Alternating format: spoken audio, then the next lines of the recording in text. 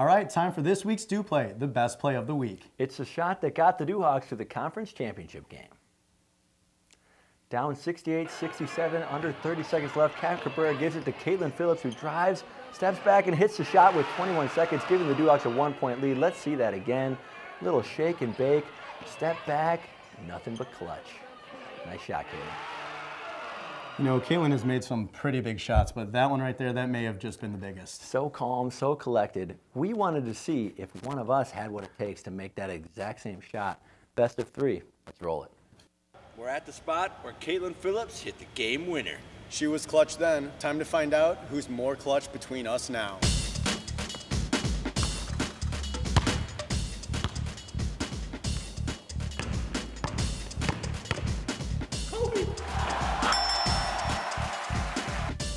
Sports.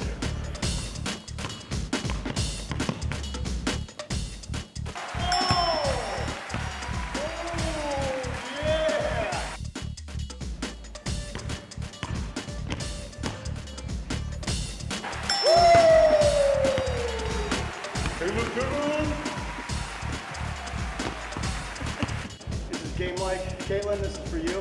You can do it in game, I can do it here. Let's go.